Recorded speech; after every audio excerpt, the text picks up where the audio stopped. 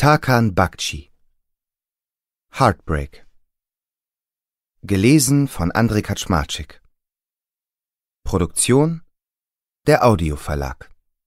1 Aus unerklärlichen Gründen landet sie immer wieder in der Küche, wenn es passiert. Auf dem kalten Boden zwischen Herd und Küchentisch. Sie weiß nicht warum, es zieht sie dort einfach hin so wie Katzen instinktiv einen abgelegenen Ort finden, an den sie sich zurückziehen, wenn sie spüren, dass sie sterben. Natürlich weiß Marie, dass sie gerade nicht stirbt. Leider hilft ihr das nicht sonderlich, denn es fühlt sich trotzdem so an. Ihre Atmung geht flach und schnell, ohne dass sie ausreichend Luft bekommt, und ihr Herz pocht so heftig gegen den Brustkorb, als wollte es ausbrechen. Marie kauert sich angstvoll zusammen, ohne sagen zu können, wovor sie eigentlich Angst hat. Ihr Hausarzt hat das, was sie durchmacht, als Panikattacken attestiert, aber Marie findet, das passt nicht ganz. Eine Attacke ist etwas, das einen angreift, den Normalzustand bedroht. Doch was Marie gerade erlebt, greift sie nicht an, es enttarnt sie. Das ist ihr Normalzustand. Panik, Angst und vor allem Hoffnungslosigkeit. Dabei ist Hoffnungslosigkeit ein Gefühl, das gar nicht mehr existieren dürfte, denn es geht komplett wider die Evolution. Höhlenmenschen, die sich beim ersten Anzeichen von Säbelzahntigern auf den Boden kauern und aufgeben, leben schließlich nicht lange genug, um ihre DNA weiterzugeben. Wenn man heutzutage ein Gefühl echter Hoffnungslosigkeit empfindet, muss die Lage also so schlimm sein, dass selbst Millionen Jahre evolutionären Aussiebens nicht dagegen ankommen. Oder man ist Marie. Dann reicht unter Umständen eine etwas schärfer formulierte Mail vom Chef. Zum Glück ist sie zu Hause, im Homeoffice, wo sie niemand weinen hören kann. Das Schluchzen lässt nicht nach, und zieht ihr die Luft aus der Lunge. Marie krümmt sich zusammen und möchte einfach nur verschwinden. Das Schlimme, vielleicht sogar das Schlimmste an diesen Momenten ist, dass sie unendlich sind. Ungefähr so, wie ein Raum unendlich groß wird, wenn es stockdunkel ist. Für Marie gibt es kein Vorher, kein Nachher. Es gibt nur das Jetzt den Schmerz für immer. Solche Schübe kommen meistens dann, wenn sich etwas in ihrem Leben drastisch verändert hat. Wie vor knapp zwei Jahren, als sie aus dem Studentenwohnheim in ihre erste eigene Wohnung nach Köln gezogen ist. Sie liebt diese Wohnung, denn mittlerweile ist es wirklich ihre.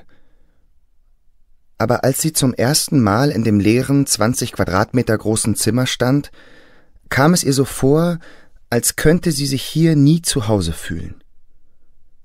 Und da reicht es bereits aus, dass etwas später die Couch in einer anderen Farbe geliefert wurde als bestellt, um sie in die Knie zu zwingen. Oder damals, als ihre Hauskatze Pompom starb. Da war Marie gerade mal zwölf. In der Zeit brach sie beim kleinsten Ärger so heftig in Tränen aus, dass selbst ihre Mutter, die sie ständig kritisiert, den Spaß am Schimpfen verlor. Alles, was die gewohnte Ordnung umwirft, trifft auch die fragile Stütze, an der sich Maries Psyche anlehnt. Und wenn diese Stütze fehlt, dann reicht der kleinste Stressfaktor, damit sie umfällt. Das kann alles Mögliche sein. Die falsche Couchfarbe, die Standpauke der Mutter oder eben eine Mail. Ursache und Auslöser. Das eine nimmt ihr die Stütze weg, das andere haut sie um. Die Unendlichkeit dauert diesmal etwa zehn Minuten. Marie japst noch einmal nach Luft und kriegt endlich etwas mehr zu fassen. Ihre Atmung beruhigt sich langsam. Ihr Schluchzen wird lautlos. Und sie kann wieder einigermaßen zusammenhängende Gedanken formen. Die ersten drehen sich sofort um Emil. immer wieder Emil. Es ist eine Erinnerung. Sie sind im Restaurant. Es ist der Jahrestag.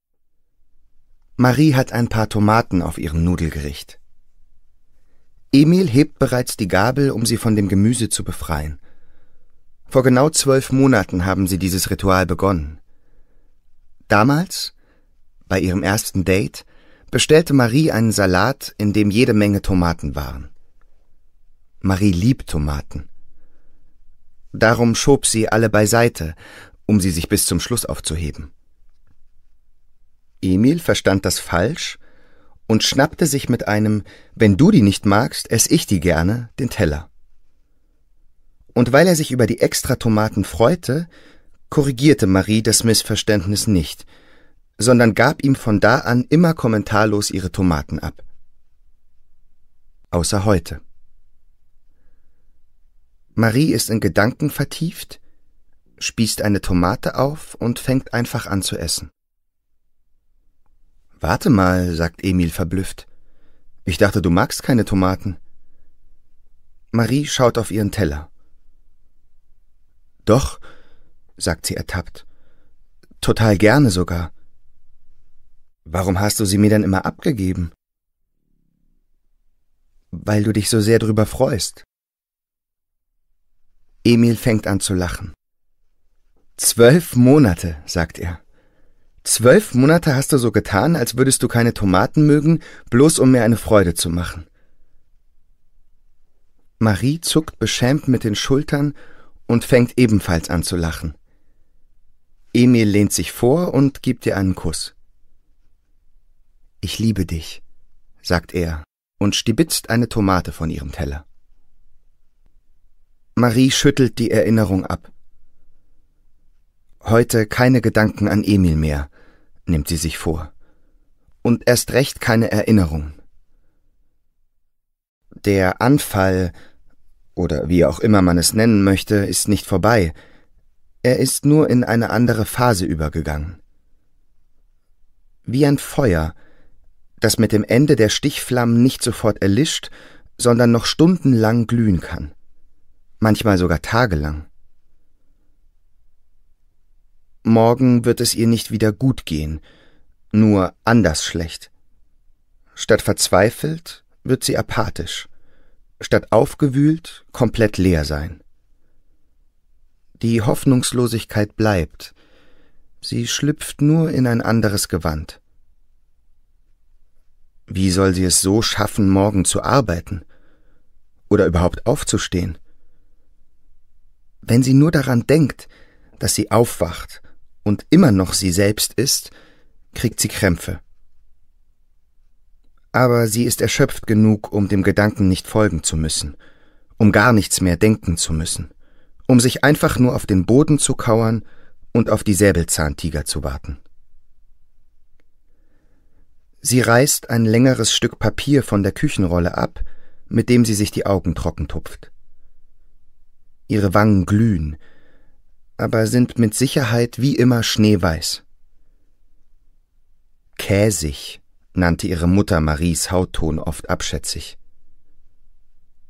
Marie fand das immer verletzend und verteidigte sich irgendwann. Ihre Haut sei nicht gelb, protestierte sie, nur blass. Stimmt, sah ihre Mutter ein und sprach seitdem von toten Blässe. Nicht viel besser, aber Marie war einfach froh, nicht mehr ihr Käsekind zu sein und beließ es dabei. Sie atmet noch einmal tief durch, kämmt sich mit den Fingern den dicken schwarzen Pony zurecht und steht auf. Im Flur vermeidet sie den Blick in den Spiegel. Sie weiß, was sie sehen würde. Ein spitzes Kinn? Mag sie nicht. Hohe Wangenknochen? Mag sie? Glatte, schulterlange schwarze Haare? Mal okay, mal schrecklich, je nach Tagesform. Und wahrscheinlich sind ihre blauen Augen gerade sehr hell. Denn Marie könnte schwören, dass das Blau ihrer Augen früh morgens und nach dem Weinen immer viel heller ist als sonst. Vielleicht wirken sie auch nur im Kontrast zu dem geröteten Weiß um ihre Augen und den dunklen Augenringen so. Jedenfalls nichts, was sie sehen möchte. Sie lässt den Spiegel hinter sich und schlurft mühsam in Richtung Bett. Obwohl sie körperlich komplett erschöpft ist, kann sie noch nicht schlafen. Erst muss auch ihr Kopf zur Ruhe kommen. Dafür braucht sie etwas, das sie ablenkt und ihr ein gutes Gefühl gibt. Etwas, das ihrem Hirn erlaubt, Pause zu machen und sich zurückzulehnen. Sie greift sich ihren Laptop und entscheidet sich für Modern Family. Sie kennt bereits jede Folge auswendig, aber genau darum geht es. Sie kennt die Serie, wie man einen guten Freund kennt. Es ist etwas Vertrautes, das sie umarmt und beruhigt. Wie Tee fürs Hirn. Sie dreht sich in ihre Decke und klappt den Laptop auf. Es dauert etwa zwei Folgen, bis sie überhaupt merkt, dass sie guckt. Nach fünf Folgen ist sie wieder einigermaßen da, und in der sechsten Folge gibt es sogar einen Moment, in dem sie beinahe gelächelt hätte. Noch etwa drei Folgen, und sie kann vielleicht schlafen. Körperlich ist sie längst dazu bereit. Die Hoffnungslosigkeit hat sie völlig erschöpft. Sie ist sich nicht ganz sicher, wie viele Kalorien so ein Anfall verbrennt, aber es sind bestimmt einige. Vielleicht sollte man das in Cardio-Trainings einbauen, denkt sie. 30 Sit-ups, 20 Liegestütze und 10 Minuten absolute Hoffnungslosigkeit. Das wäre mal ein Workout. Der Gedanke sorgt wieder beinahe für ein Lächeln. Aber nur beinahe. Auf ihrem Laptop hat die Dunphy-Familie sich gerade für Thanksgiving zusammengefunden. Mitchell reißt seiner Schwester Claire die Medaille vom Hals, nachdem klar wird, dass sie nicht wirklich das Rennen gewonnen hat. Woraufhin Cam der Mann von Mitchell offenbart, dass dieser sich nicht in einer heroischen Konfrontation mit Einbrechern verletzt hat, sondern sich aus Versehen selbst mit Nunchakus ins Gesicht gehauen hat. Woraufhin wiederum Mitchell allen erzählt, dass Cam als Trainer geschummelt hat, um seine Mannschaft zum Sieg zu führen und endgültig Chaos ausbricht. Ein Gedanke an ihre eigene Familie drängt sich ihr auf, aber Marie schiebt ihn beiseite. Der nächste Gedanke in der Schlange ist leider nicht besser. Als eine Familie bezeichnet ihr Chef Heiner auch ständig die Firma. Und damit ist sie wieder beim letzten Satz der ansonsten belanglosen Mail. Dem Auslöser. Bis morgen dann endlich mal wieder persönlich. Heiner. Es ist das Wort endlich. Es bedeutet, dass ihr Chef denkt, sie sei viel zu oft im Homeoffice. Dass er weiß, wie wenig sie die Arbeit mag. Dass sie viel zu wenig arbeitet, faul ist, sich drückt. Dass alle anderen es auch wissen und Marie hält inne und stemmt sich mit dem letzten bisschen Kraft, das sie noch hat, gegen den Gedankenzug, um ihn zu stoppen. So wie sie es in der Therapie gelernt hat. Sie sagt sich ganz deutlich Stopp und verbietet sich weiterzudenken. Extrem banal, aber diesmal funktioniert es auch. Theoretisch müsste sie diesen Moment nun komplett nacharbeiten, sich intensiv mit ihm beschäftigen. Um welches Schema handelt es sich? Was wären produktive Gedanken? Sie müsste ganz tief in sich graben, was mehr Schmerz bedeutet aber das schafft sie jetzt nicht. Ihr Energiespeicher ist leer, ihre Schmerzgrenze völlig überschritten. Wie soll das gehen? Wie soll sie das jemals schaffen? Warum kann sie nicht einfach ein neues Gehirn bekommen? Beschädigte Ware bitte einmal umtauschen. Reparieren klappt ja anscheinend nicht. Marie hat irgendwo gelesen, dass wir Menschen mehr über die Zusammensetzung des Universums wissen als über unser eigenes Gehirn. Das klingt erstmal unglaubwürdig. Das Universum ist unendlich groß, dagegen wirken Gehirne geradezu handlich. Bei manchen Menschen ist sich Marie sogar sicher, dass sie winzig sind. So viel kann es da doch nicht zu erforschen geben. Vor allem nicht im Vergleich zum Universum. Vielleicht liegt die Krux aber auch darin, dass menschliche Gehirne menschliche Gehirne untersuchen. Sie müssen sich selbst verstehen. Egal wie groß das Universum ist, es ist eher möglich, einen Elefanten aus einem Sumpf zu ziehen, als sich selbst am eigenen Schopf. Und vielleicht ist es Menschen darum möglich, eine Rakete ins All zu schießen und ganz genau zu berechnen, wo sie wann ankommt, während es bei Medikamenten, die im Gehirn wirken, immer noch heißt, keine Ahnung, ob das funktioniert. Müssen wir mal ausprobieren. Marie nimmt seit etwas mehr als einem Jahr jeden Morgen das Antidepressivum Escitalopram. Es war das erste Antidepressivum, das ihr neuer und erster Psychiater, Herr Reinhardt, verschrieben hatte. Und zum Glück hilft es ohne große Nebenwirkungen. Erst hat sie 10 Milligramm genommen, seit einigen Monaten nun 20. Eigentlich ist Marie damit sehr zufrieden. Das Medikament stützt sie zwar nicht so, dass sie nie mehr hinfällt, aber es hilft ihr dabei, schnell wieder auf die Beine zu kommen. Gerade hat sie allerdings das Gefühl, im freien Fall zu sein. Denn so etwas Banales wie die Mail von Heiner würde ihr eigentlich nichts anhaben, wenn hinter diesem Auslöser nicht eine schreckliche Ursache stecken würde.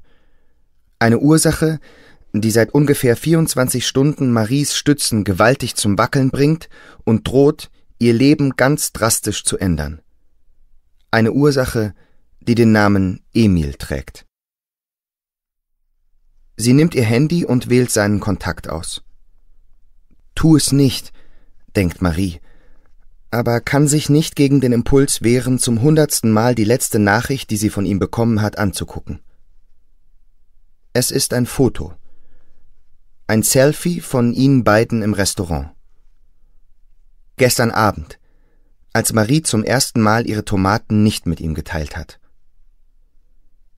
Auf dem Foto küsst sie Emil auf die Wange und er kneift spielerisch eines seiner smaragdgrünen Augen zu und grinst breit. Emil hat das Foto geschickt mit der Bemerkung Danke für das Ja und für die Tomaten. Seitdem kann Marie ihn nicht mehr erreichen. Als er auf ihre ersten Nachrichten nicht reagierte, dachte sie sich nichts dabei.